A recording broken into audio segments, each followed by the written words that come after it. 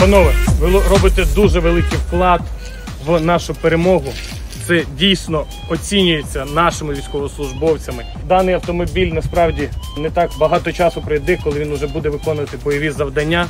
Зараз особовий склад пройде на ньому злагодження, розбереться з кожним інструментом, з кожним гвинтиком, з кожним ключиком, щоб мати повноцінне розуміння в його використанні, використовувати його на 100-120% від його можливостей.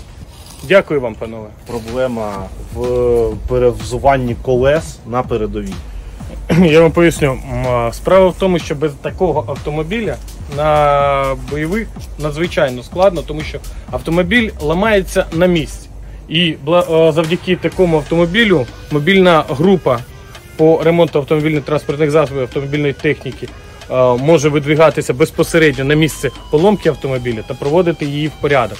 До того, дякую вам за кранбалку. Це надзвичайно ще більше допомагає, тому що машину можна припиняти і все зробити все, що не З появою подібних е, подібної техніки в збройних силах.